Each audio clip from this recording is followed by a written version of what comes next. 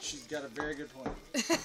It's very easy. I always like when people are like, "Oh, like, I don't know." Like, uh, really, we all figured this out by the time her... we were fucking Yeah. 17. Sorted out. If you didn't do your own, I think that looks you know, strong enough. So you before the fuck with somebody, just say you can contain that You can what?